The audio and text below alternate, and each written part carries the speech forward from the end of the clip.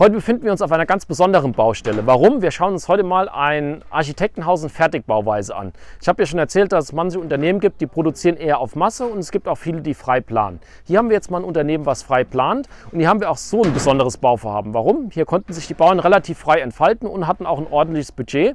Und wir sehen jetzt im Hintergrund ein Haus mit zwei Stockwerken, also einmal Erdgeschoss und Dachgeschoss und oben nochmal zusätzlich ein Staffelgeschoss, wo also praktisch der zweite Stock ein bisschen eingerückt ist, damit man oben rundum eine Dachterrasse hat. Also ist richtig super gut geworden und wir haben auch noch einen Fertigkeller, der innerhalb von drei Tagen gestellt wurde. Und das schauen wir jetzt im Detail mal an. Ich glaube, wir werden auch heute, weil der Anbieter relativ hochwertig ist, nicht ganz so viele Mängel finden, aber dafür haben wir vielleicht ein paar schöne Eindrücke, die euch vielleicht beim Planen oder beim Einrichten des Hauses auch noch ein bisschen weiterbringen.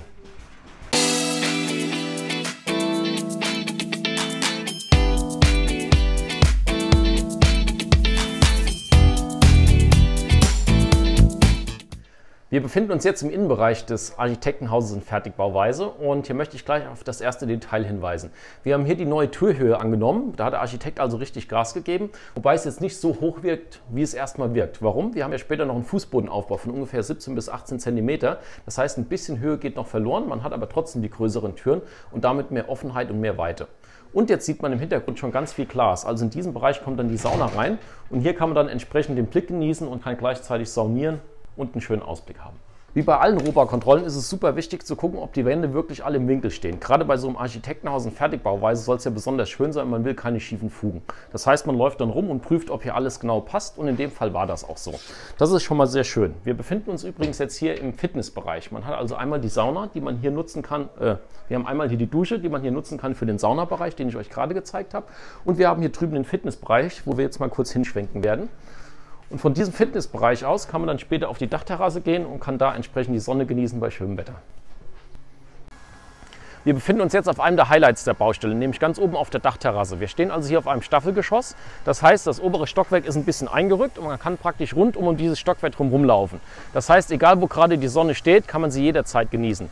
Die Dachterrasse wird vermutlich noch entsprechend ausgestattet, also mit schönen großen Liegen, vielleicht mit einem Jacuzzi, damit man das hier oben wirklich alles genießen kann. Und ich vermute, der Grill darf auch nicht fehlen. Was ein sehr schönes Highlight ist, ist die große Schiebetür. Man kann also dann später vom Fitnessstudio aus ebenerdig auf die Terrasse heraustreten. So, und jetzt befinden wir uns hier im Treppenhaus vom äh, ersten Stock ins Dachgeschoss hoch und die Jungs haben wirklich einen guten Job gemacht. Ähm, wir gucken immer ganz genau hin, aber auch das Treppenhaus steht super übereinander und da muss man nicht mehr nacharbeiten, sondern das kann später dann einfach entsprechend nach oder entsprechend bearbeitet und verputzt werden. Also richtig gut. Und man sieht auch, wenn man sich jetzt die Fuge von der Treppe anschaut, dass auch diese gleichmäßig verläuft und dass da ebenfalls nicht nachgearbeitet werden muss. Also die Jungs haben einen richtig guten Job gemacht. Was bei dem Anbieter ganz spannend ist, beziehungsweise bei dem Fertighausanbieter, den die Bauherren sich dann ausgesucht haben, nachdem sie ihr Haus haben planen lassen, ist, dass er einer von ganz wenigen ist, der die Wände komplett verleimen, anstatt zum Beispiel zu schießen oder zu verschrauben. Äh, da gibt es kein wirklich besser oder schlechter, außer ihr habt natürlich auch eine Idee, dann könnt ihr es gerne in die Kommentare schreiben, da kann man ja mal ausdiskutieren, wie die Wand am besten gebaut sein soll. Also ich finde es grundsätzlich okay, ein bisschen ökologischer ist, glaube ich, die andere Variante, aber das klären wir dann im nächsten Video. Hier sehen wir jetzt den Verteiler von der Fußbodenheizung, beziehungsweise den Platz, wo er späterhin montiert wird. Und hier ist das Schöne, dass er in die Wand eingelassen ist. Es gibt also viele Fertighausunternehmen, die sparen sich das und machen die einfache Variante und setzen das einfach auf die Wand drauf. Ist natürlich ein bisschen günstiger, sieht aber auch nicht so schön aus, weil man dann entsprechend auch nicht so viele Möbel stellen kann, wie man will.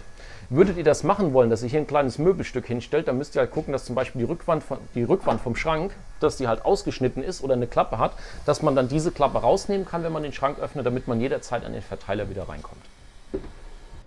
Und was auch gut ist, und da solltet ihr bei jeder Baustelle darauf achten, ist, dass die Fenster geschützt werden. Also es braucht auf jeder Baustelle irgendwo ein Fenster im Dachgeschoss, damit man auf kurzem Weg aufs Gerüst austreten kann. In dem Fall ist das jetzt in diesem Bereich hier und die Monteure sind wenigstens hingegangen, haben jetzt hier die untere Schwelle abgeklebt, damit eben, wenn man jetzt Steine oder irgendwelche Späne unter den Schuhen hat, hier keine Macken reindrücken kann. Kann man natürlich auch nochmal einen dicken besser oder einen dicken dicker machen, aber so ist es grundsätzlich auch schon mal besser, als wenn gar nichts wäre. Was euch ganz oft auffallen wird, ist, dass ihr irgendwo an irgendwelchen Gipskartonplatten irgendwelche Ecken seht, die rausgerissen sind. Da braucht ihr euch erstmal grundsätzlich keine Sorgen machen. Das sieht erstmal schlimmer aus, als es ist. Jetzt kommt aber das große Aber. Im besten Fall baut ihr natürlich schlüsselfertig oder habt die Leistung der Maler- und Spachtelarbeiten mit im Umfang des Fertighausanbieters drin. Dann muss der sich auch darum kümmern und muss das alles mit aufspachteln. Für den Fall, dass ihr nur ein Ausbauhaus bauen solltet oder ihr würdet die Maler- und Spachtelarbeiten selber machen, dann müsst ihr mit dem Bauleiter über eine kleine Gutschrift verhandeln. Warum? Wenn später mal der Gips komplett angebracht ist und ihr habt dann weiß ich nicht, 20 oder 30 von diesen Macken, habt ihr einen gewissen Mehraufwand. Warum? Ihr könnt nicht ganz normal verspachteln, wie es sein sollte, sondern ihr müsst da erstmal wieder aufspachteln und müsst das ausgleichen. Das heißt einmal, ihr braucht mehr Material und mehr Arbeitszeit.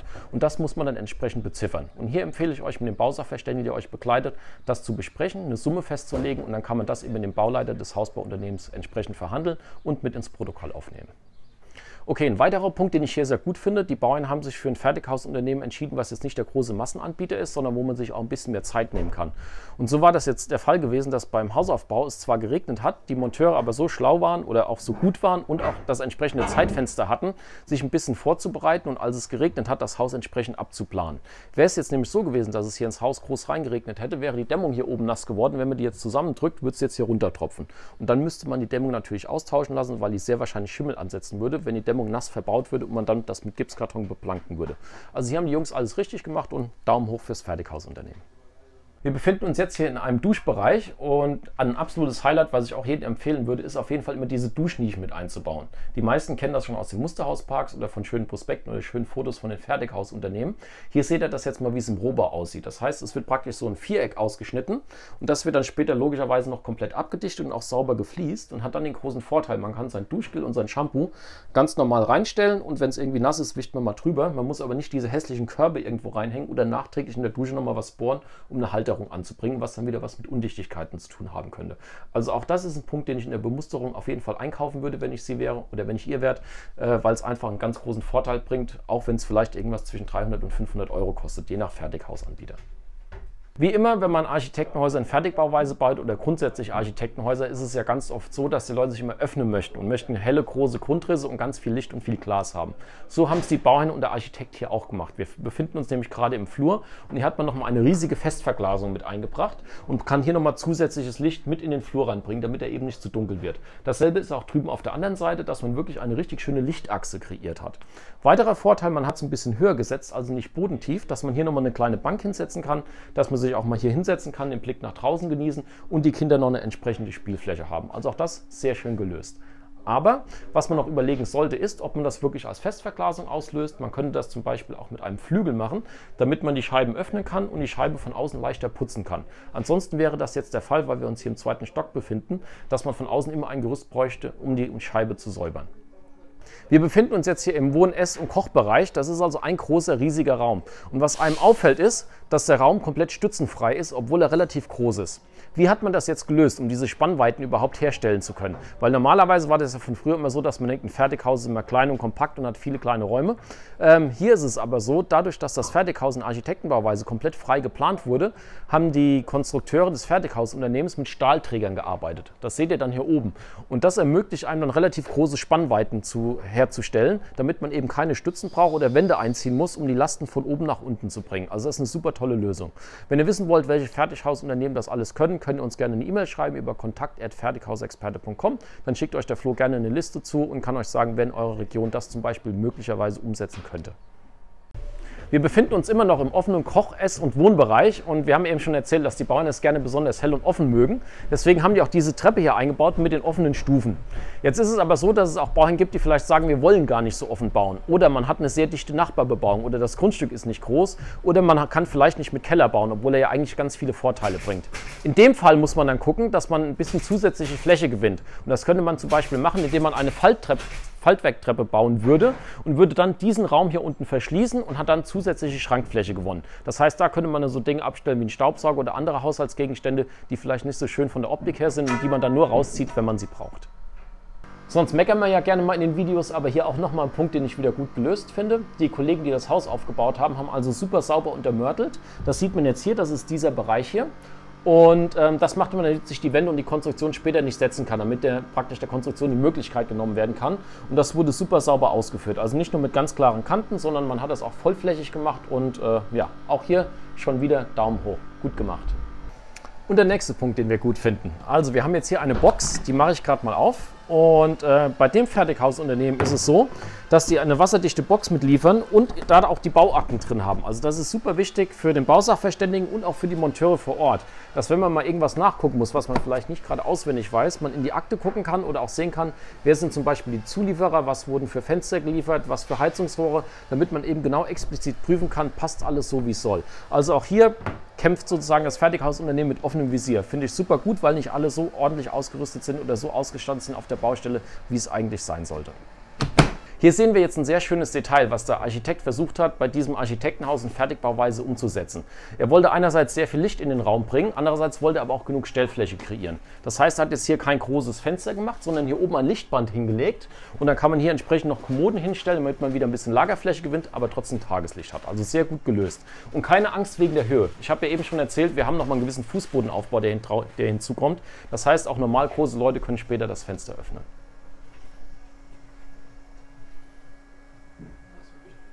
Wir sprechen ja heute über Architektenhäuser in Fertigbauweise. Die haben manchmal die Besonderheit, dass sie logischerweise ein bisschen mehr kosten, gerade wenn man mit Staffelgeschoss und Flachdach baut. Man kann es natürlich auch ein bisschen günstiger lösen. Trotzdem ist es so, dass die Bauern auch hier darauf geachtet haben, nicht zu viel Geld auszugeben bzw. zu viel Geld zu verschwenden. Also man kann ja trotzdem gucken, dass man ein vernünftiges Preis-Leistungs-Verhältnis bekommt. Hier hat man das unter anderem so gemacht, dass man zwar eine Eckverglasung kreiert hat, aber dass die eben nicht zusammenhängt ist und man eine separate Stütze braucht, was wieder sehr teuer ist, sondern dass man einfach zwei Fensterelemente gewählt hat, die man ganz dicht beieinander geschoben hat. Und was ich dann auch sehr gut finde, ist dann, dass der Bemusterer auch nicht vergessen hat, dass man nur einfach eine Festverglasung einbaut, damit man hier eine schöne Eckverglasung hat und die super gut aussieht, sondern man hat hier noch eine Strebe mit eingebracht und kann diesen Raum dann nochmal zusätzlich lüften. Also sehr gut gemacht. Wir befinden uns immer noch im Raum mit der Eckverglasung und dieser Raum wird das zukünftige Büro. Und auch das finde ich wieder sehr gut gelöst. Man hat die Fenster also nicht komplett bis nach unten gezogen, sondern man hat eine gewisse Wandfläche noch kreiert und die Fenster wieder als Lichtband oben drauf gesetzt. Das bedeutet, wenn man jetzt den Schreibtisch in die Ecke stellt, kann man einerseits schön nach draußen gucken, man hat aber, weil die Eckverglasung sich hier befindet, kein direktes Sonnenlicht, was später auf den Bildschirm fällt. Und man sieht natürlich auch, die Bauern haben bei der Bemusterung entsprechend Gas gegeben. Man sieht hier eine ganze große Batterie an Steckdosen, damit man auch wirklich später alles anschließen kann. Also vom normalen Rechner über den Drucker, Handy-Ladekabel und was man sonst noch alles im Büro braucht. Es gibt ja verschiedene Möglichkeiten, seine Kinder abzusichern. In diesem Kinderzimmer hat man das dann so gemacht, dass die Balkontür nicht komplett nach unten geht, damit man mehr lüften könnte oder mehr Luft in den Raum kommt, sondern man ist hier hingegangen und hat eine Querverstrebung eingebaut. Das heißt, wir haben nur im oberen Bereich einen Fensterflügel und es besteht jetzt nicht die Möglichkeit fürs Kind, die Tür komplett aufzumachen, dann nach unten zu fallen. Und wäre das so, gibt es natürlich auch gewisse Vorschriften. In dem Fall könnte, könnte, man das dann zum Beispiel so lösen, dass man hier einen französischen Balkon anbringt. Und das könnte dann zum Beispiel außen eine fest verglaste Scheibe sein. Und was ich hier auch sehr gut finde, ist auch wieder ein Tipp für die Bemusterung. Die Bauern haben gleich die Fliegengitter mit bemustert. Das würde ich niemals hinterher machen. Wenn man erst das Haus baut und stellt dann fest, wir wohnen in Waldrandlage oder es ist ein bisschen grün außenrum, dann muss man diese Dinger immer aufsetzen und dann muss man immer praktisch in die vorhandene Materialien oder ins vorhandene Bauwerk reinschrauben und das ist nie so gut. Ich würde es direkt aus einem System bestellen und bei der Bemusterung direkt mitordern, auch wenn es vielleicht beim Fertighausanbieter den einen oder anderen Euro mehr kostet, weil er die Fliegengitter nie selbst bestellt, sondern natürlich auch oder nie selbst herstellt, sondern irgendwo bestellt und Aufschlag aufpackt. Dafür ist das aber dann die sauberste Lösung. Also die Fliegengitter immer direkt beim Fertighausanbieter kaufen. So, endlich haben wir mal einen kleinen Punkt gefunden. Wäre auch ganz langweilig, wenn wir nichts hätten, wo man gar nichts beanstanden kann. Ähm, normalerweise ist ja so, dass die Scheiben, Fensterscheiben oder die Fenster produziert werden, dann werden die Scheiben eingesetzt und alles wird dann rundum versiegelt. In dem Fall haben wir aber eine Trockenverglasung. Das heißt, die die Fensterbauer des Fertighausunternehmers sind hingegangen und haben hier gewisse Gummis reingedrückt. Und die sollte man auf jeden Fall prüfen. Hier war es jetzt so gewesen, dass in dem Werk des Fensteranbieters einer ein bisschen zu schnell gearbeitet hat und man sieht jetzt, dass das Gummi sich hier unten reindrückt. Und wir haben jetzt hier eine relativ große Kuhle und da muss man das einfach nochmal kurz ausglasen und öffnen und dann wieder entsprechend anpassen, dass man hier eine saubere Kante hat, die auch bündig mit dem Rahmen ist. Damit, wenn das Wasser kommt, eben nicht da eindringen könnte oder stehen bleibt, sondern ganz sauber nach unten abläuft. Ein ganz häufiger Diskussionspunkt sind übrigens, sie liest man in ganz vielen Foren, dass sich manche Bauern beschweren, dass der Hammer in die Konstruktion reingeschlagen wird. Wirklich, Leute, da könnt ihr locker bleiben, das ist nicht schlimm. Irgendwo müssen die Monteure ihre Sachen hinlegen und die wollen es auch nicht unten im Boden in den Dreck machen. Und dann haut man halt mal mit dem Hammer rein und hängt auch seinen Werkzeuggürtel auf. Das ist wirklich komplett in Ordnung und ihr werdet das später nicht mehr sehen. Also da könnt ihr entspannt bleiben, das ist nichts Schlimmes. Wir befinden uns jetzt auf der Rückseite des Gebäudes und das finde ich auch super schön gemacht. Da hat der Architekt wirklich mitgedacht oder die Bauern haben es ihm halt vorgegeben, haben gesagt, sie hätten das gerne so und der Bebauungsplan hat es dann auch noch erlaubt. Wir sehen hier nochmal so einen Überstand. Also das heißt, wenn die Bauern später hier unten auf der Wiese sitzen und sind am Grillen oder machen sich eine gute Zeit und es sollte sich dann ein bisschen zuziehen oder ein bisschen anfangen zu regnen, dann muss man nicht eben komplett ins Haus reingehen, sondern kann sich unter den, über den Überstand runtersetzen, ist dann immer noch vor der Witterung geschützt, kann aber trotzdem draußen bleiben. Also finde ich super gut gelöst. Die andere Alternative wäre halt gewesen, dass man vielleicht einen Balkon baut, der dann vielleicht vorne abgeständert wäre, dass man sich darunter zurückzieht und man oben den Balkon nutzt und unten sich vor der Witterung schützt. Aber das ist natürlich hier nochmal ein Highlight. So, wir befinden uns jetzt immer noch im Außenbereich und hier habe ich noch einen ganz wichtigen Tipp für euch, falls ihr ähnlich groß bauen solltet oder ein großes Grundstück habt oder euer Haus in der Mitte des Grundstücks sitzt und ihr außen ganz viel Rasenfläche hättet. Und zwar geht es darum, nicht den Außenwasserhahn zu nehmen oder beziehungsweise den schon zu nehmen, wie er bei den meisten Fertighausunternehmen schon im Standard mit dabei ist, aber einer reicht eben nie. Das heißt, wenn ihr jetzt nur einen Außenwasserhahn habt und ihr wollt die ganzen Rasenflächen später bewässern oder einen Sprenger hinstellen und der muss ja eine gewisse Zeit laufen, damit die Rasenfläche auch nass wird, dann dauert das relativ lange. Also ihr bräuchte beim Grundstück dieser Größe im Sommer locker vier, fünf Stunden, bis ihr jedes Mal jeden Grasteil oder jeden Grundstücksteil erwischt habt, damit er auch wirklich nass wird. Also hier mein Tipp, nimmt da auch ein paar Euros in die Hand und investiert am besten in fünf Außenwasserhähne. Einen bringt man vorne an der Zufahrt an, falls man da vorne irgendwie ein bisschen ein paar, paar Bäume oder, oder ähm, ein paar Büsche stehen hat. Und die anderen vier Außenwasserhähne solltet ihr an den jeweiligen vier Hausecken anbringen. Das heißt, ihr könnt dann viermal euren Gartenschlauch anschließen, stellt viermal einen Sprenger auf und müsst den maximal ein bis zweimal umstellen. Und dann kriegt ihr im Sommer euer Garten halt innerhalb von einer Stunde gewässert und müsst nicht die ganze Zeit rumrennen und weiß ich nicht. Ne? Die beste Zeit des Tages, nämlich den Feierabend, mit Gießen verbringen oder mit Umstellen. Äh, eine andere Möglichkeit ist, das kostet dann aber noch mal ein bisschen mehr, direkt eine Gartenbewässerung mit hinzu zu bestellen. Das kriegt ihr dann aber nicht beim Fertighausunternehmen, sondern das müsstet ihr dann mit eurem Gartenplaner machen. So, hier hinten sieht man jetzt noch Aushub Mountain. Also man sieht hier einen riesigen Berg. Äh, das wird alles aus, praktisch alles aus dem Grundstück rausgeholt, weil hier mit Keller gebaut wurde. Ihr müsst wissen, dass der Aushub, wenn er nicht wieder komplett verfüllt werden kann, später noch abtransportiert werden muss oder irgendwo zwischenzeitlich gelagert werden muss. Habt ihr also ein relativ kleines Grundstück, redet mit euren Nachbarn, ob ihr vielleicht da die Erde zwischenlagern könnt, weil die vielleicht erst ein Jahr später bauen. Wenn nicht, muss halt irgendwo eine Fläche geschaffen werden oder die Erde muss direkt abtransportiert werden. Ist auch nicht schlimm, also das ist ein übliches Vorgehen. Ich wollte nur kurz darauf hinweisen, das hat ein bisschen was mit Kosten zu tun, damit ihr euch dafür ein kleines Budget auf Seite legt. So, das war es auch schon wieder mit der Robokontrolle. Diesmal mit ganz wenig Punkten und ganz we wenig Mängeln, sondern eher mit vielen Highlights. Ist auch so, wir wollen auch keine Punkte zu oft wiederholen, damit es nicht langweilig wird. Und wir hoffen, diesmal konntet ihr ein paar gute Tipps mitnehmen. Ansonsten vielen Dank fürs Zuschauen. Wenn ihr noch Fragen habt, gerne kommentieren. Und ansonsten folgt uns auch gerne noch bei Instagram oder kommt in unsere Bauherrengruppe bei Facebook mit über 20.000 echten Bauherren. Und da gibt es noch ganz, ganz, ganz viel Input und bis ganz bald.